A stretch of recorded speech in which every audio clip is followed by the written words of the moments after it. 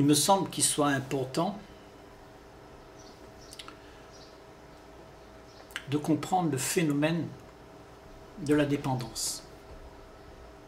Cette fascination, cette frénésie pour toujours avoir la chose qui te donne du réconfort. Un réconfort que l'esprit a besoin parce que il cherche à s'évader en dehors de la monotonie de ce qu'il joue et de toute la répétition qui se fait tout le temps. Donc il a besoin de quelque chose pour égayer, égayer ce phénomène qui est latent, qui est angoissant, ce vide, cette envie de combler quelque chose.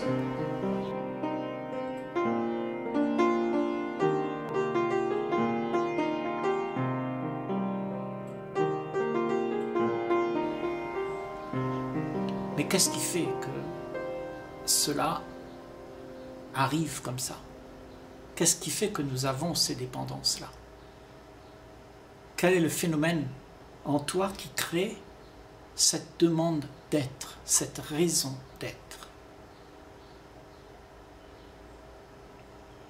Tu dois comprendre que l'homme, il est constamment insatisfait.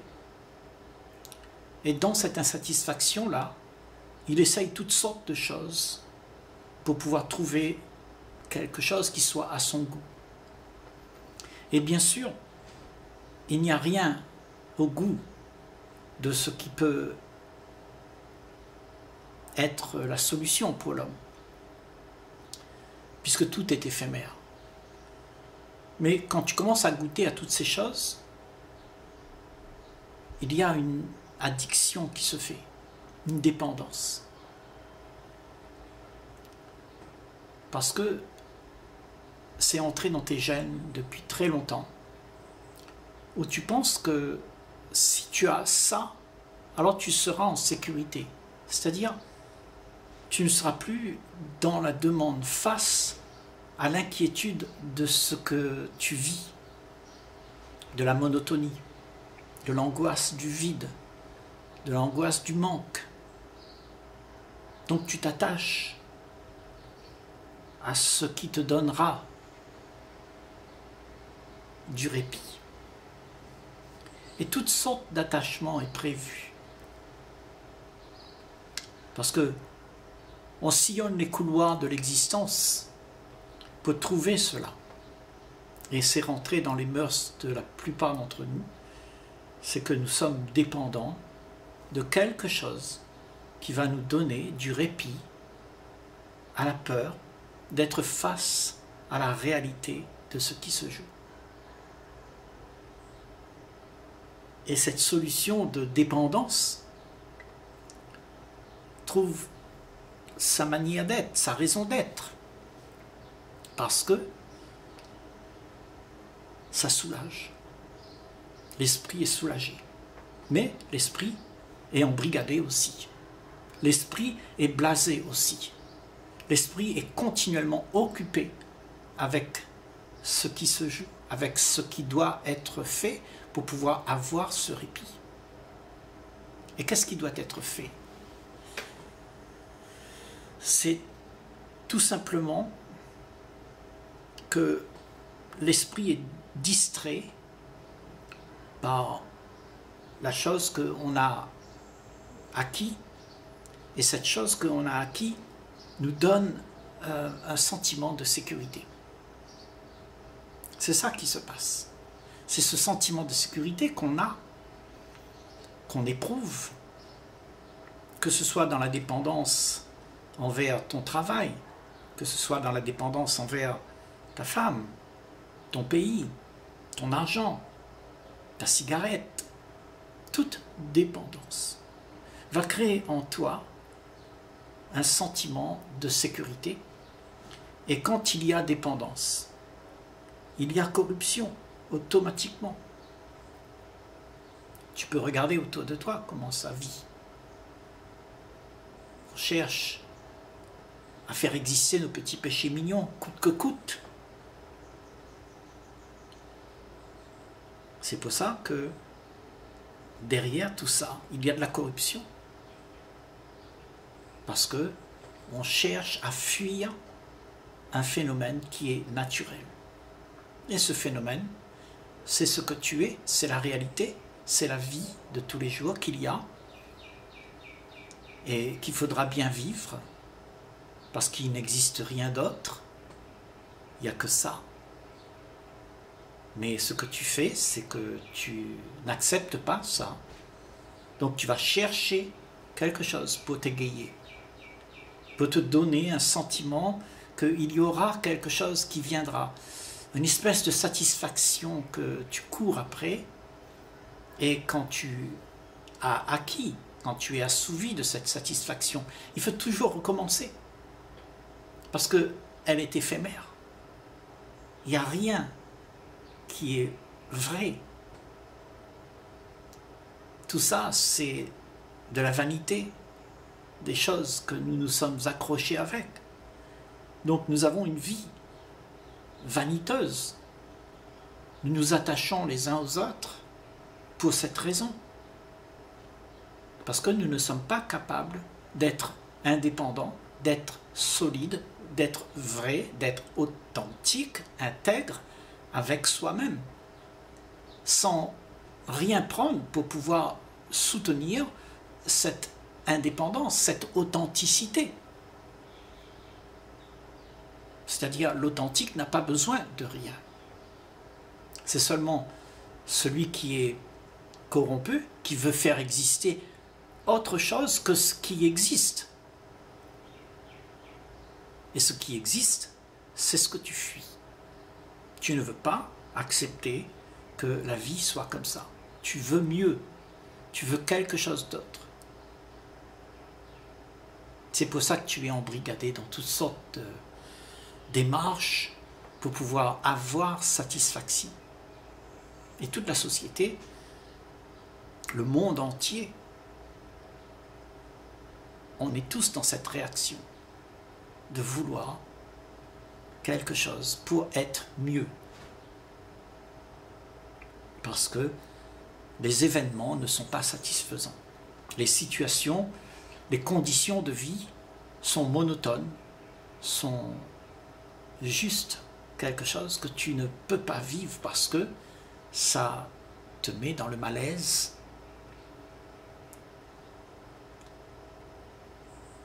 Donc tu cherches toujours quelque chose pour occuper.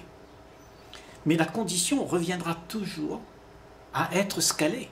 Les faits seront là. Et c'est pour ça que se déclenche cette dépendance, cette dépendance de quelque chose, dépendance de ce que j'aimerais avoir pour pouvoir m'égayer. Donc tout ça, ça te donne le sentiment d'être égayé, une croyance que au bout de tout ça, il y aura quelque chose. Mais toute notre vie, on va le faire et on ne sera jamais comblé. Parce que tout ça, c'est de l'éphémère. Alors tu vois que l'esprit, s'il n'est pas embrigadé dans, cette envie de fuir, de fuir la situation qu'il y a, c'est-à-dire tu as une situation là en face de toi. Les choses sont ce qu'elles sont, mais ça ne te plaît pas. Dans cette situation, il y a l'ennui, il y a toutes sortes de phénomène qui se joue et que tu ne veux pas vivre. Mais la situation, elle est là, elle est comme ça. Donc toi, tu veux une situation autre que celle-là. Donc qu'est-ce que tu vas faire? Tu vas tout faire pour pouvoir sortir de cet état monotone pour entrer dans un état qui te donnera un sentiment agréable.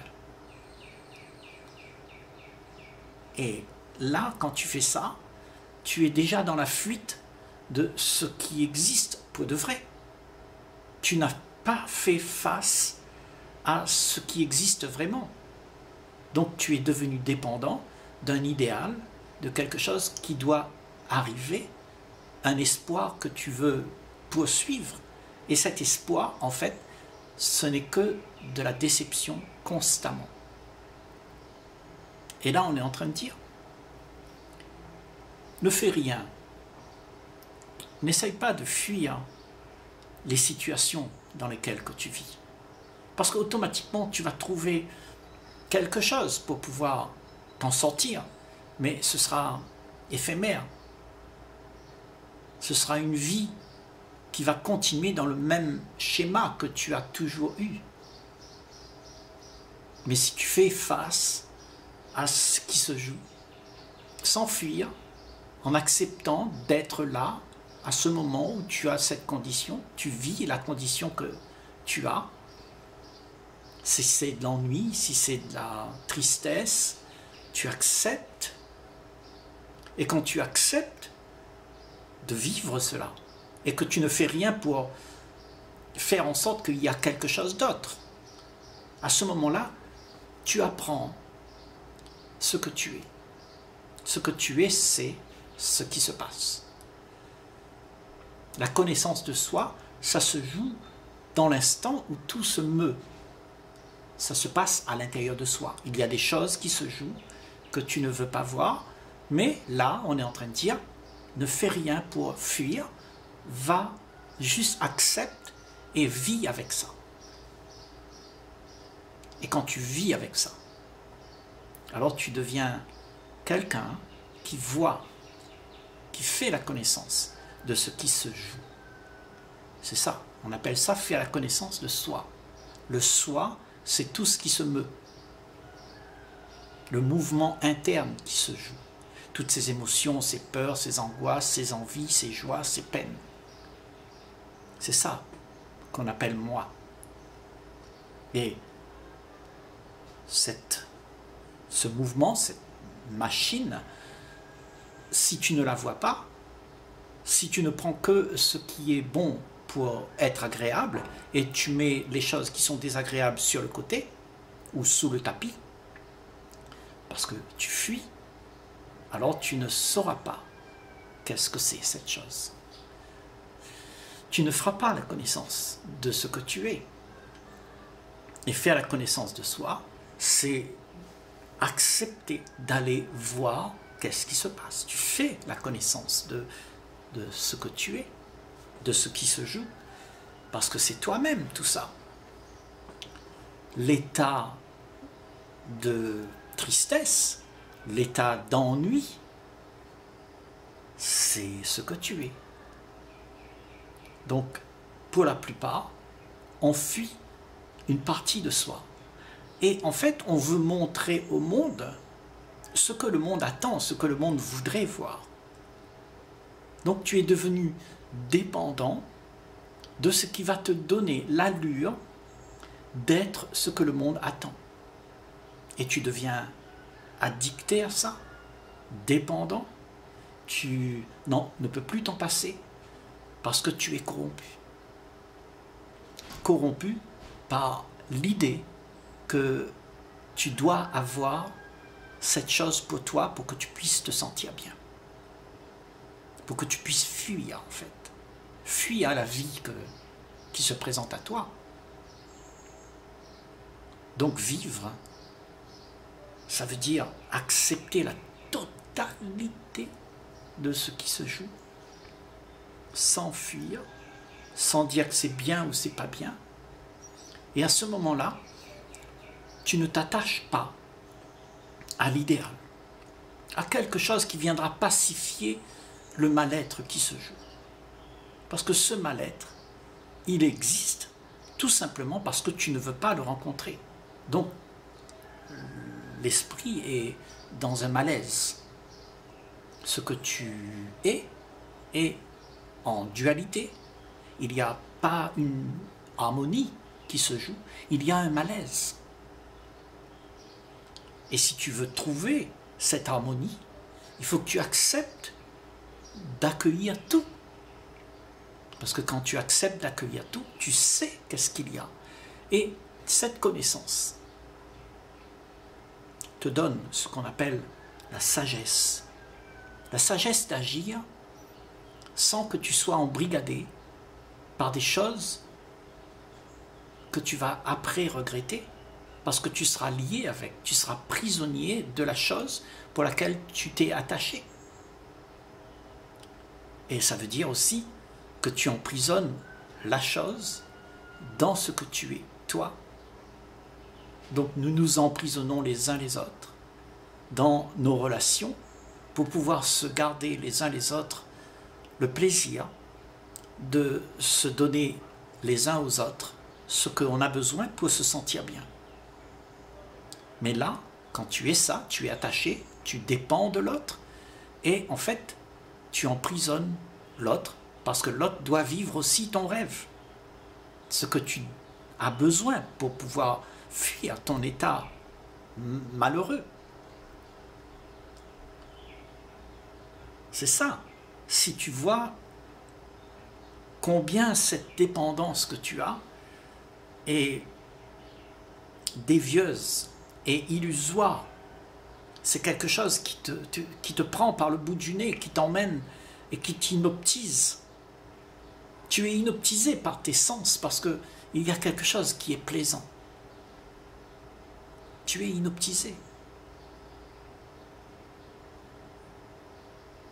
Tu es inoptisé dans tout ce qui se passe. La situation crée des événements où tu seras inoptisé, tu seras dans la demande de ça. Parce que tout ça, c'est plaisant.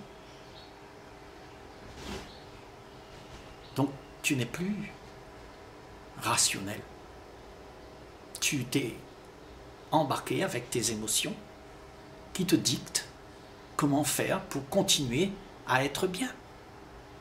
Et à ce moment-là, tu es dépendant de cette émotion qui se joue. Et tu as envie de la garder, cette émotion. Tu veux que ça continue. Mais toute émotion a un début et une fin. Donc, ce que nous cherchons, c'est quelque chose qui est éphémère. Ce sentiment de bien-être, il est éphémère. Au-delà de toute la dépendance, il y a la liberté. La liberté du besoin de ce sentiment de bien-être. Et quand tu n'as plus besoin de ce sentiment de bien-être, il existe tout simplement un courant de vie qui coule, où tout est accepté, tout est là, il n'y a pas d'émotion, il y a juste ce qu'il y a. Il n'y a plus personne qui veut prendre pour se satisfaire. Il y a juste la vie. Et la vie, en fait, c'est ça que tu es. Mais tu t'es laissé embrigader par tes émotions. Et tes émotions te font faire des choses qui est contraire à ce que tu es pour de vrai.